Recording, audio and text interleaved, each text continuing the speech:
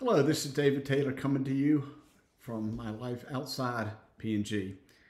As I'd like to say, you really never leave the P&G family, and I really haven't.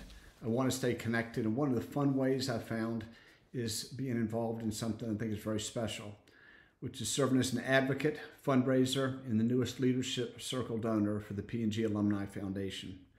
With over 45,000 people in our alumni network, we're one of the largest corporate alumni associations. And one of the things special about P&G people is they like to stay connected and they like to make a difference.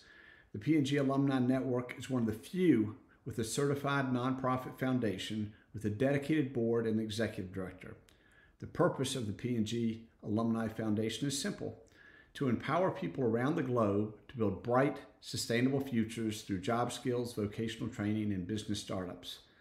This fits with our combined talent desire to improve lives in the communities we live, work, and serve consumers. In true P&G fashion, we don't focus on one-off contributions, but on building sustainable long-term capability. We're driving global systemic change for good. Each monetary grant awarded by the foundation goes to organizations where one or more P&G alumni are in leadership positions, which I think is great. You've got P&G people volunteering and the foundation can make a donation to accelerate the progress.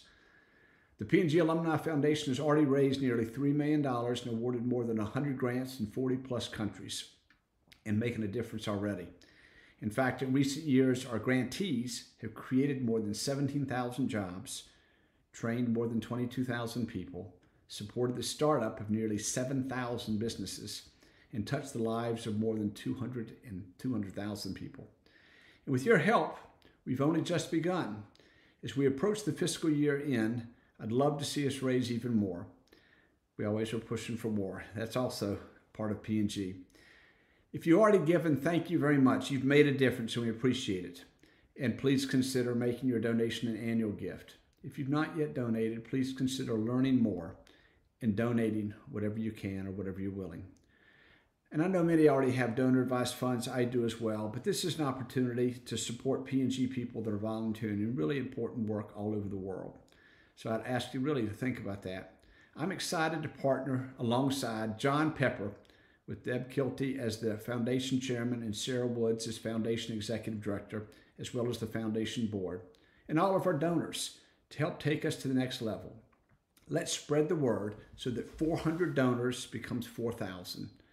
10 grants per year becomes much, much more. And we move from 200,000 people with new economic futures to 2 million. That's really possible. And it's again, it speaks to who we are, both as a company P&G, but as retirees or alumni, both people that have touched P&G and benefited from P&G.